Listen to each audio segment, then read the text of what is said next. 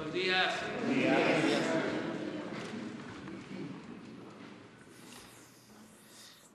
Bueno, este, el día de hoy vamos a ponernos al corriente, vamos a cumplir con el compromiso que hicimos de informarles sobre la situación de las estancias infantiles. Si ponemos en contexto este tema, debe de decirse que ha generado bastante polémica.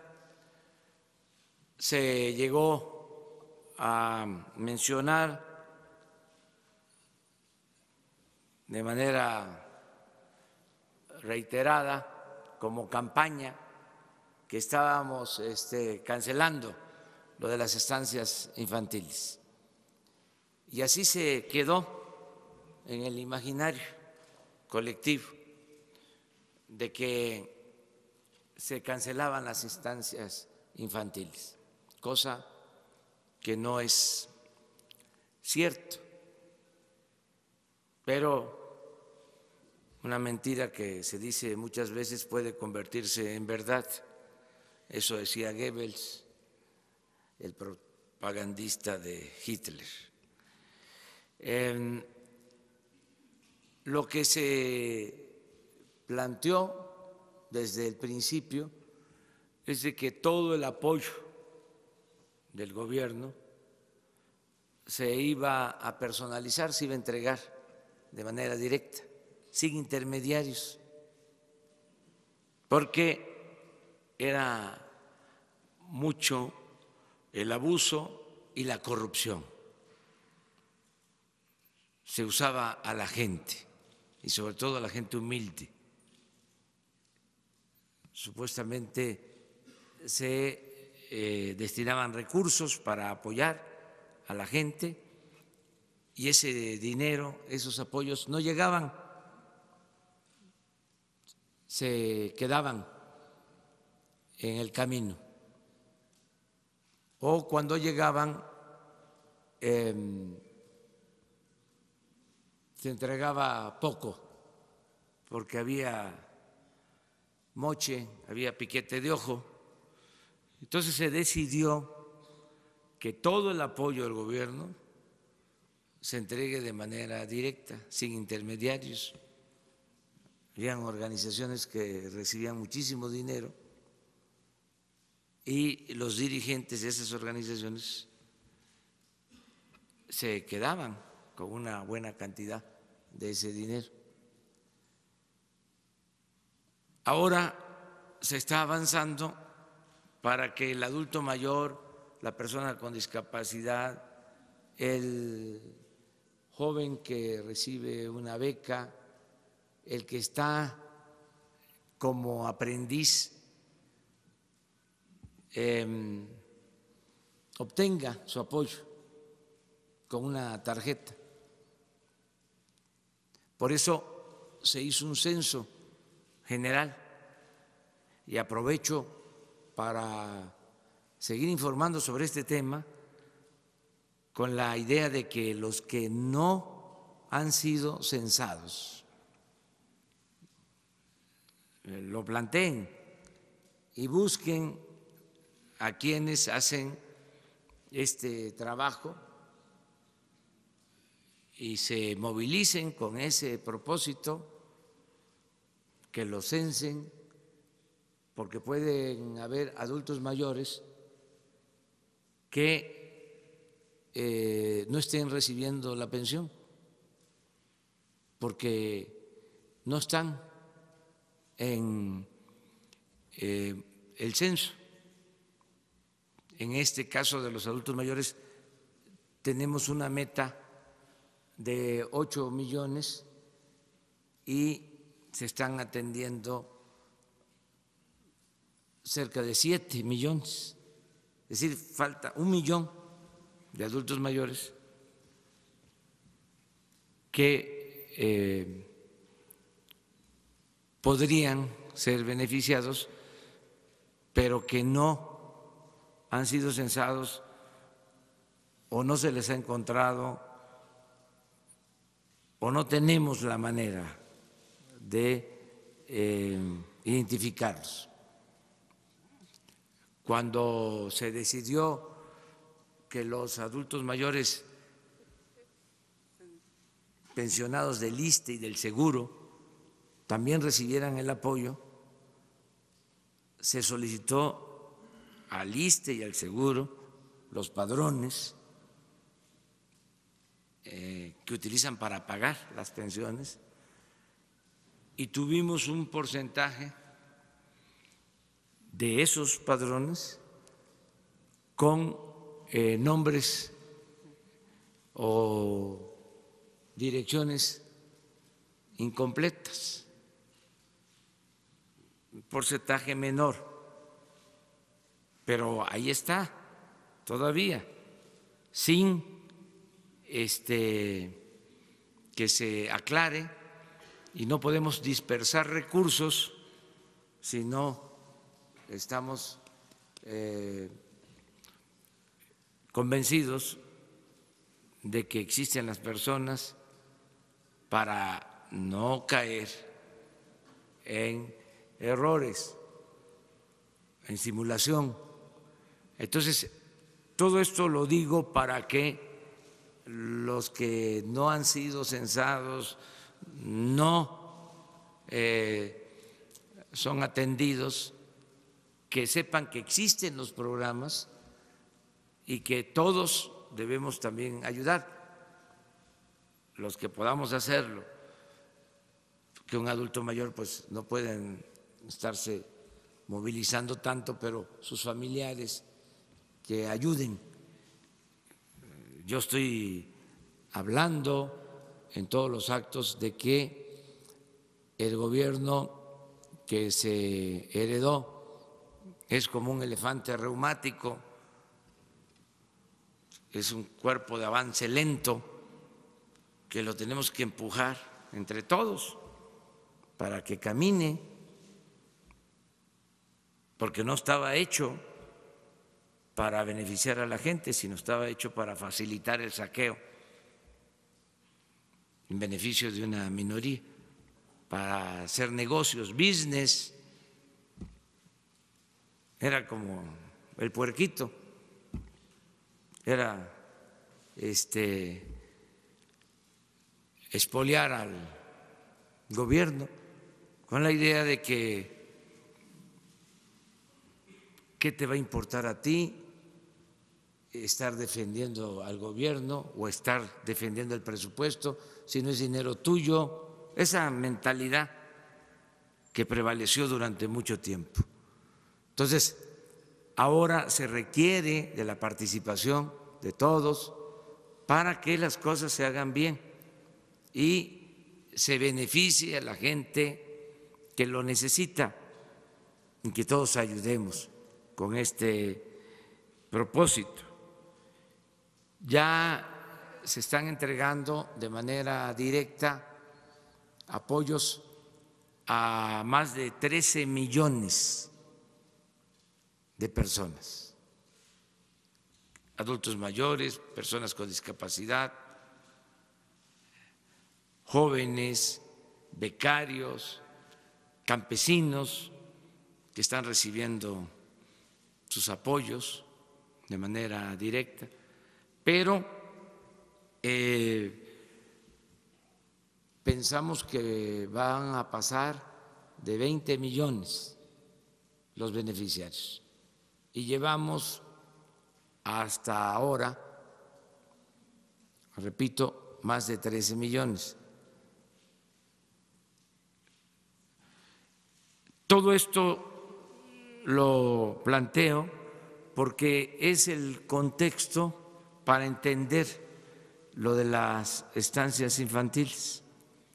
Era un programa en donde eh, una persona, dos, mujer o hombre, eh, organizaban en sus domicilios o en algún sitio este, dar atención a niños de madres trabajadoras. Ese fue el concepto original, para que este, los niños quedaran en resguardo de eh, maestras o de estas personas encargadas de las estancias infantiles.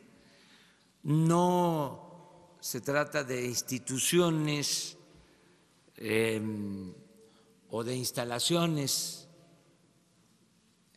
eh, hechas con ese propósito, sino eh, lugares adaptados, un poco guardadas las proporciones, y no quiero que se malinterprete, la subrogación que se llevó a cabo durante mucho tiempo en el Seguro Social de las guarderías,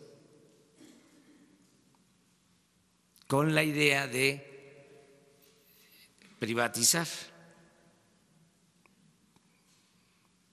una función del seguro y así eh, suele suceder o así pasaba, este, se subrogaba.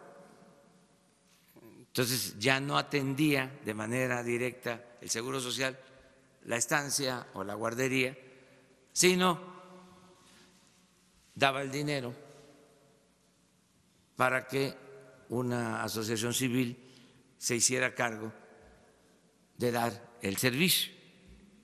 Eso fue lo de la ABC. Entonces nosotros no compartimos ese punto de vista, esa concepción. Porque no solo es el manejo del dinero o las irregularidades que puedan haber en el manejo del dinero, sino la seguridad. Imagínense eh, miles de sitios donde están los niños. Quién supervisa, cómo garantizamos el cuidado de los niños, la corresponsabilidad que tenemos. Entonces, por eso se decidió, como en otros programas, lo hicimos también en las becas que se entregaban del Prospera. Y lo mismo, ya encontramos que este, habían listados, y eso está pendiente porque se los vamos a presentar también, y no existían las familias. O se decía que les daban una cantidad y en realidad recibían mucho menos, porque era dinero la mayor parte entregado en efectivo. Entonces, todo esto es lo que se está corrigiendo. En el caso de las estancias, se hizo un censo, porque hubo protestas y ya tenemos los resultados. Eh, de qué es lo que hay en realidad, eh, cuántos padres de familia y cuántos niños. Y eh, independientemente del diagnóstico, estamos asumiendo el compromiso de entregar los apoyos, pero de manera directa a las madres y a los padres de familia.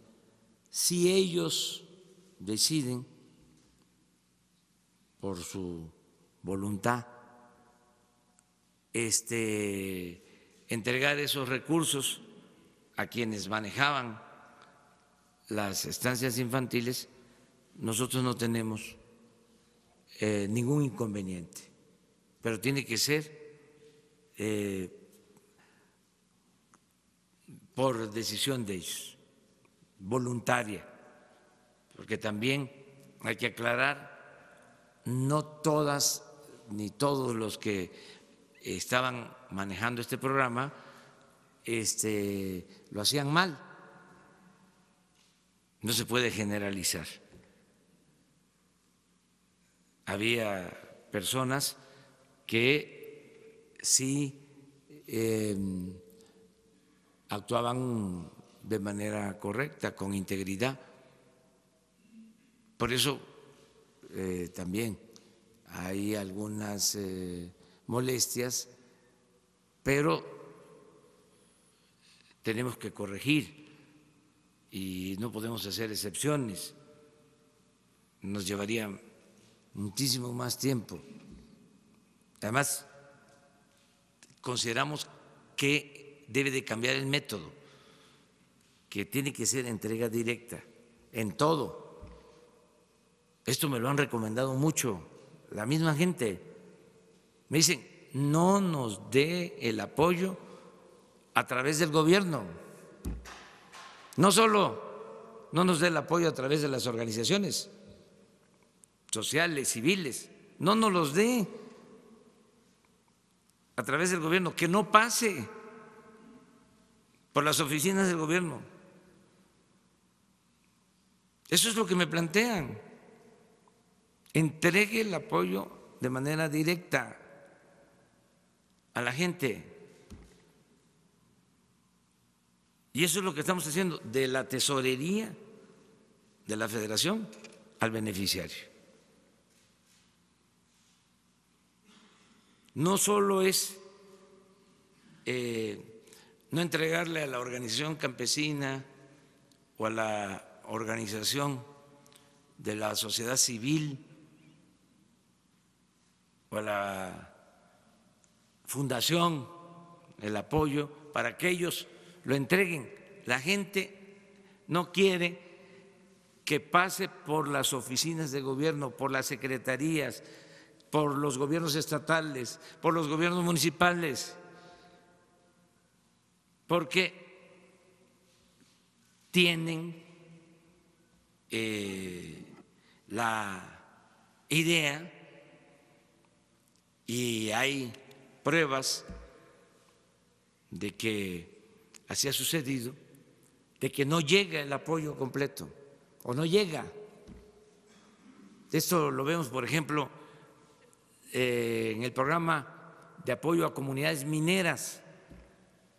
Se logró que una parte de los derechos cobrados por la explotación minera eh, llegaran a las comunidades donde se lleva a cabo la extracción del mineral y donde se necesita por eh, los efectos eh, de la explotación minera, inclusive daños o falta de arreglo de caminos, falta de agua.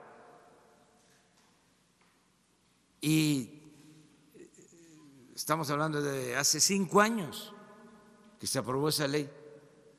Y si se hace una em, auditoría técnico-administrativa, lo que ha bajado a las comunidades ha sido muy poco, porque se ha quedado en eh, las instancias gubernamentales y ha sido desviado para otras actividades, ha sido transferido el recurso. Entonces ya no queremos eso.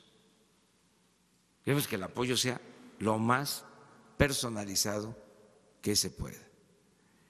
Em, vamos a explicarles, vamos a informarles cuál fue el resultado del el censo que se hizo. Eh, les estoy pidiendo a María Luisa Albores, Ariana Montiel, que son eh, la secretaria de Bienestar y la subsecretaria encargada de este programa y de otros.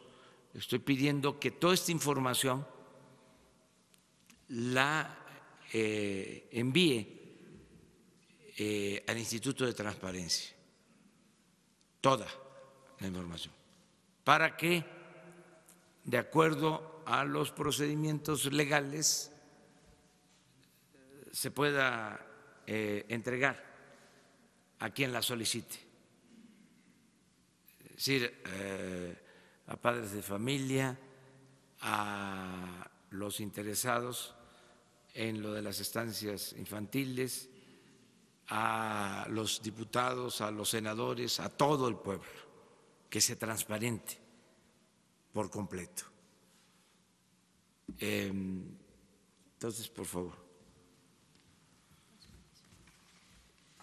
Eh, con su permiso, señor presidente.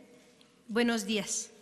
Quisiera eh, comentarle seis puntos y después le voy a dar la palabra a la compañera Ariadna Montiel, subsecretaria, y que tiene a su cargo este programa. Primero comentarles que, como dijo nuestro presidente, lo que intentamos hacer es en los programas que ya se tenían eh, antes como Secretaría de Desarrollo Social, Sol, es buscar y tratar de poner orden. A mí sí me gustaría comentarles que el programa de estancias infantiles, eh, lo que nos encontramos fue que el mecanismo para la supervisión del cuidado de los niños lo hace DIF. El mecanismo del cuidado en el sentido del espacio y que tuviera los requerimientos para que las niñas y los niños estuvieran bien, lo hacía Protección Civil del municipio, porque se veía como un establecimiento comercial y en el caso de lo que era Sede Sol, era quien otorgaba el recurso directamente a las encargadas o responsables de estancia por niño cuidado en esa estancia. Entonces, había tres elementos. ¿Por qué lo comento? Porque en el caso de la Secretaría de Sede Sol, aunque hubiera eh, una supervisión y hubiera irregularidades, jamás se le permitía que pudiera cerrar o cancelar determinada estancia. ¿Qué tratamos nosotros ahora al recibir este programa? Pues poner orden en un sentido de, de quién es la responsabilidad del cuidado de las niñas y de los niños. Sí me gustaría aclarar seis puntos y después ya pasamos a la parte estadística de lo que nos encontramos en el censo y esa validación del censo. La primera es comentarles que el programa de apoyo para bienestar de niñas y niños hijos de madres trabajadores busca el cuidado infantil. Se cambia el nombre, pero lo que estamos buscando es el cuidado de la primera infancia. Dos, eh, vamos a apoyar a todas las niñas y niños que se encuentren validados en el padrón. A todas los vamos a apoyar. Tres, eh, y en el caso del apoyo, si me gustaría comentarlo, se está planteando el apoyo de 800 pesos mensuales en entregas bimensuales. Eso nos da 1.600 pesos. Sí me gustaría aclarar que el caso enero, febrero, marzo, abril correspondería a 3.200 pesos que se les va a estar ya entregando a quienes son responsables de la niña o niño, madre o padre. Esa dispersión se empieza mañana, mañana 4 de abril, ya este, en los diferentes lugares de la República.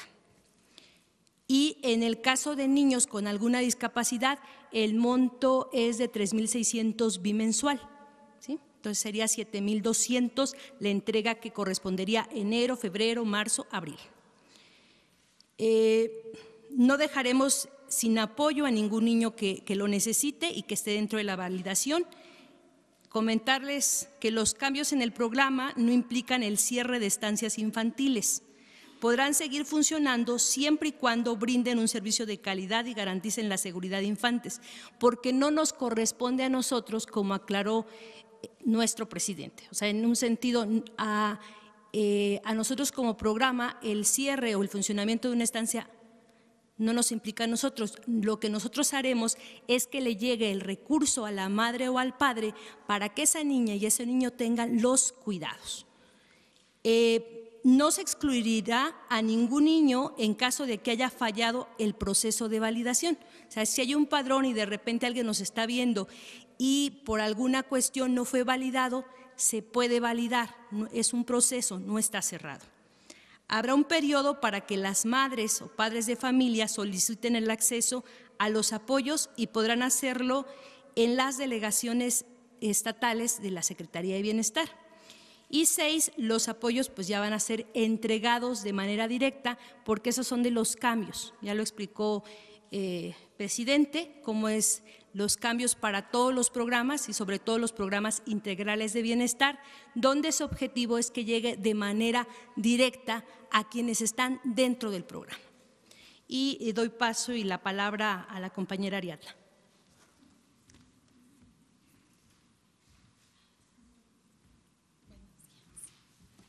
Con su permiso, señor presidente. Bueno, pues vamos a, explicar la metodología del censo. Eh, como ya explicó el presidente, en general todos los programas eh, tienen que ser verificados antes de que pasemos a la entrega de los recursos, porque ha sido una constante que nos hemos encontrado inconsistencias, por lo cual, aunque hemos invertido tiempo en esto, decir que este es el motivo del retraso, hacer una validación eh, física en las viviendas a través de los servidores de la Nación, a quien les agradecemos mucho el esfuerzo que realizan todos los días. Si avanzamos la lámina, gracias. Eh, aquí tenemos el dato.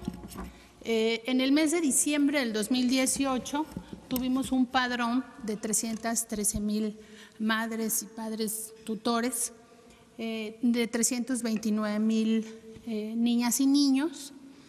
Para eh, el mes de enero, 16 mil madres ya tendrían acceso al programa, inclusive como estaba en antaño, porque el programa solo abarca hasta niños con cuatro años cumplidos. de tal manera que 19 mil niños para enero ya no serían beneficiarios del programa bajo ningún esquema. Entonces, eh, bajo el padrón de enero de 2019, estamos hablando de 296 mil madres de familia y 310 eh, mil niños, porque hay madres de familia que tienen dos niños eh, que estaban dentro del programa.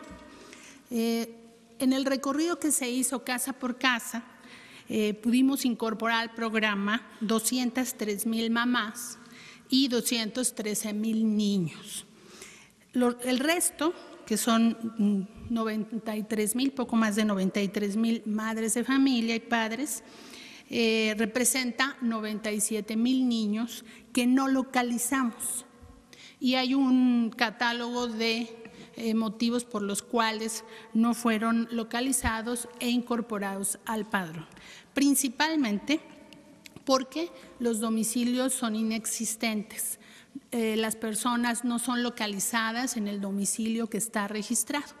Es decir, que 93 eh, mil eh, madres de familia no, no pudieron ser verificadas. algunas son de cambio de domicilio en la misma colonia y al enterarse que estaba haciéndose el censo se pudo recuperar la incorporación de ellas y de los niños y las niñas también a este padrón. Y 874 madres de familia no aceptaron el programa, que representa el punto 3%. Decir que estos, de estos 203 mil padres, madres o tutores, todos han aceptado por escrito con su firma eh, que el modelo que se les está planteando del programa eh, es correcto y lo acepta. Ya tenemos la, aceptación, eh, insisto, con firma autógrafa de cada una de las cédulas que se les presentó para validar sus datos, que sean correctos, sus domicilios y demás, para poder pasar al proceso de bancarización y entregarles una tarjeta para que como todos los programas del Gobierno de México, eh, pueda hacerse a través de este mecanismo y no haya nadie en la intermediación de la entrega del apoyo. Como ya lo explicó, sí, avanzamos. Como ya lo explicó la secretaria, ha habido inconsistencias. Aquí colocamos en esta lámina eh, los puntos, digamos, que encontramos con mayor eh, consistencia, o sea, o, se presentaron de manera permanente, domicilios inconsistentes, calles que no corresponden a las colonias. Esto pasó en los 32 estados. Este mecanismo de que las calles no corresponden a las colonias pasó en los 32 estados y es la gran parte de los 93 mil registros que no están localizados. Registros de personas en un municipio con datos de otro estado, personas que no viven en los domicilios registrados, titulares con registros de hijos en estados diferentes. Encontramos algunas madres que tienen registrado un hijo en Michoacán y otro este, en Zacatecas, o sea, una inconsistencia eh, con, ilógica. Niñas y niños que no asisten eh, a la estancia, que nunca asistieron o que dejaron de asistir antes de diciembre del 2018. Estancias eh, sin funcionamiento desde el 2018, cuando se les preguntaba si acudían a determinada estancia, referían que esas estancias no existían ya desde el 2018 y cambios de domicilios no reportados. Tratamos de hacer un esfuerzo en campo de localizar a las que hubieran tenido un cambio de domicilio en la misma zona, eh, pero algunas refieren que hace algunos meses o años ya no viven en ese, eh, en ese lugar. De tal manera que ese es, digamos, de manera general el contexto que encontramos en el censo. Como ya lo indicó el presidente, vamos a mandar la información bajo el marco legal de protección de datos, eh, sobre todo de los niños y las niñas, eh, a los órganos de transparencia para que esta información esté a disposición de quien, guste consultar.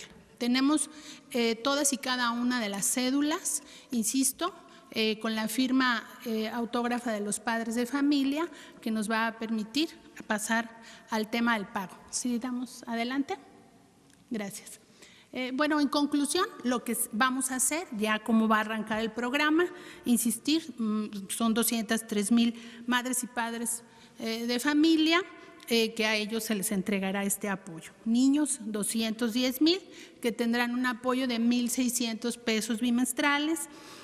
niñas y niños con discapacidad, casi encontramos a la totalidad de los que estaban registrados, son arriba de 3 mil, 3.372 tendrán un apoyo de 3.600 pesos bimestrales y los niños beneficiados serán 213 mil. De tal manera que para este cuatrimestre, llegamos, porque vamos a pagar los dos bimestres juntos, eh, son 666.7 millones de pesos que se entregarán eh, por única vez con una orden de pago a través de Telecom y a la vez vamos a entregar las tarjetas para que los siguientes pagos podamos tener... Eh, ya el, proceso de bancarización, pero debido al, retraso, eh, quisimos ya sacar la orden de pago, van a recibir su apoyo de manera inmediata y haremos durante este mes la bancarización, de tal manera que ya en el siguiente bimestre puedan cobrar a través de la tarjeta. Eh, este es el informe. Pues esto es lo que queríamos informarles.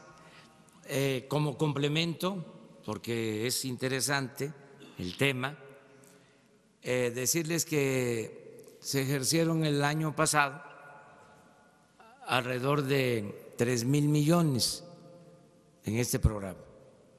Ahora nosotros calculamos que se van a ejercer dos mil.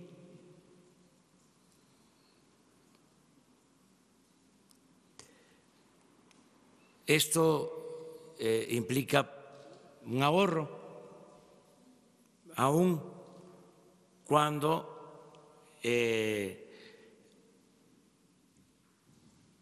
supuestamente se entregaba más de los 800 eh, pesos, se entregaban 900,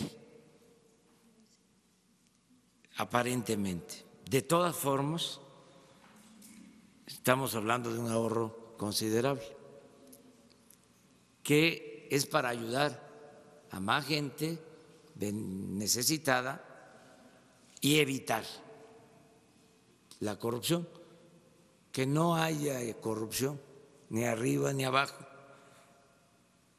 Entonces, todo esto pues genera molestias, este, a veces em, por la desinformación se piensa que estamos dejando de apoyar a quien lo necesita. Este gobierno, como nunca, se ha visto en la historia, está destinando recursos en favor de la gente humilde, de la gente pobre. Y lo podemos demostrar. Pero no queremos la corrupción, no queremos que continúe eh, lo mismo. Políticamente se manejó este asunto hasta por personas que en el anterior gobierno recibieron dinero así para apoyar eh, causas, para apoyar a migrantes y el dinero no le llegó a los migrantes. Y eso nunca se ha aclarado. Entonces, aunque haya protestas, además, lo he dicho muchas veces, lo creo, es una convicción, tiene que haber críticas, tiene que haber discrepancia, tiene que haber oposición al gobierno, porque eso es consustancial a la democracia. Pero si no tienen razón,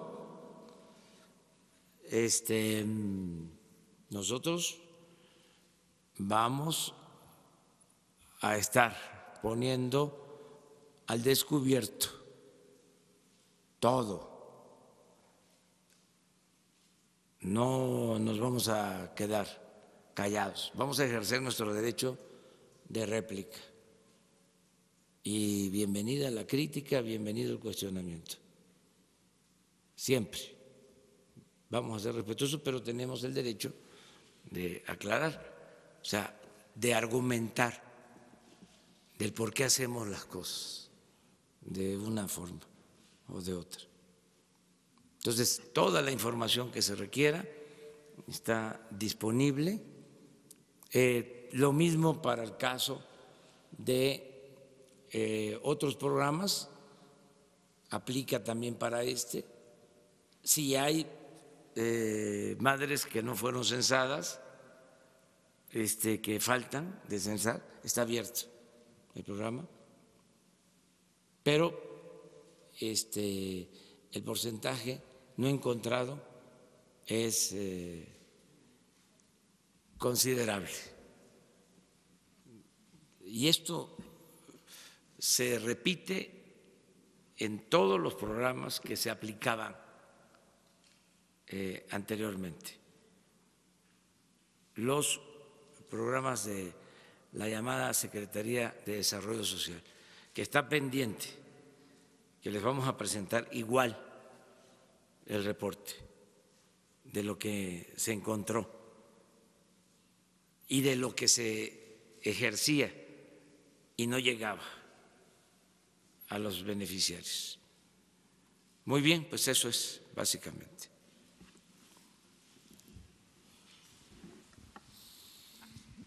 Bueno, buenos días, presidente. Alberto Rodríguez, de SDP Noticias. Eh, le quiero hacer una pregunta es, un tema de obvio interés general que tiene muchas aristas muy delicadas. Pido una disculpa, yo sé que esta pregunta la tenía que hacer una mujer, pero ya me toca a mí. Eh, le quiero hablar sobre, las denuncias del movimiento MeToo. Eh, pese a que la mayoría de las denuncias formales no son atendidas, pues en México hay niveles muy altos de impunidad y pese a que señalar a un abusador supone un riesgo para la víctima, Muchas voces desestimaron las acusaciones anónimas y ahora hasta están culpando a, las denunciantes por la muerte de Armando Vega Gil, el músico que se suicidó hace unos días. ¿Qué puede hacer el gobierno federal para atender las legítimas denuncias y sobre todo para generar confianza en el sistema y que las mujeres puedan acudir a las instituciones que corresponden para obtener justicia? Gracias. Pues es un tema que debe de atenderse.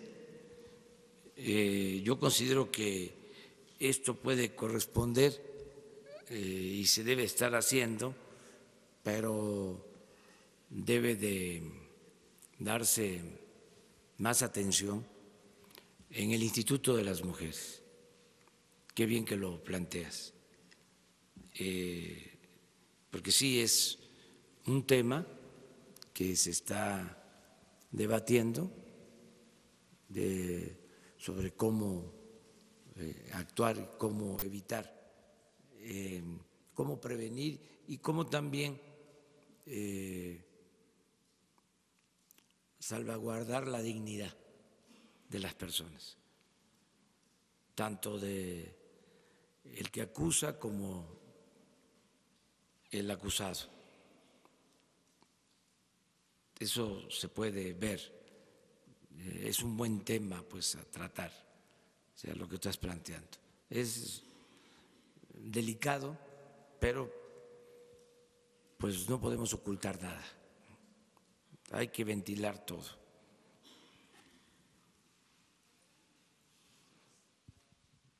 A ver, ustedes dos. Buenos días, Oscar López de la Fundación Thomson Reuters. Em, el retiro de recursos federales a asociaciones civiles ha dejado muchas organizaciones que trabajan con el tema de VIH sin los fondos adecuados para brindar servicios de detección y prevención. Al mismo tiempo, el cambio de la manera en hacer licitaciones de medicamentos ha dejado un desabasto de medicinas para tratar esta enfermedad. En una época cuando la tasa de esta enfermedad está creciendo en el país, ¿qué hará el gobierno para asegurar que las poblaciones más vulnerables, los pobres, las mujeres transgénero, los hombres gays, entre otros, tengan acceso a las medidas de prevención y tratamiento que podrán salvar sus vidas. Gracias. Todo el apoyo para quienes necesiten medicamentos. Eh, no se trata de dejarlos sin eh, protección, al contrario, este, es atenderlos mejor y que no falten los medicamentos. Eh, hay que buscar eh, la forma, estoy seguro que ya lo está haciendo la Secretaría de Salud. Lo que queremos es acabar con la corrupción en general, porque ese es el cáncer que destruye a México. Em, les explicaba la vez pasada que se compran cuatro mil millones de dólares de medicamentos.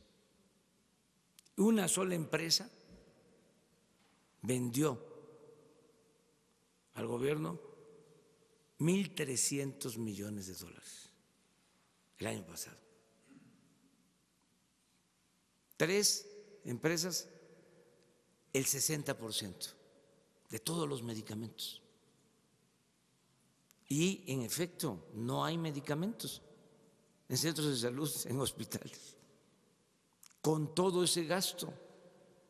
Entonces ahora se están haciendo compras consolidadas y está participando la ONU para que sean compras transparentes y que no haya corrupción porque es un crimen robarse el dinero de los medicamentos. Entonces, eso es lo que ya no queremos que suceda, pero no dejar de atender a quienes lo necesitan. Ya lo acabo de decir y lo repito, este gobierno tiene como misión fundamental atender a los desposeídos, a los necesitados, a los enfermos, a los pobres, a los humillados, a los marginados. Lo he dicho muchas veces, lo repito ahora, vamos a atender a todos, a escuchar a todos, a respetar a todos. Esto es muy importante, respetar a los adversarios, respetar el derecho a disentir pero le vamos a dar preferencia a la gente humilde, por el bien de todos, primero los pobres. Entonces, para ayudar más, ¿por qué se produjo esta desigualdad monstruosa, en donde unos cuantos lo tienen todo y millones carecen hasta de lo más indispensable? Pocos tienen mucho y muchos tienen poco, casi nada. ¿Por qué? por la corrupción.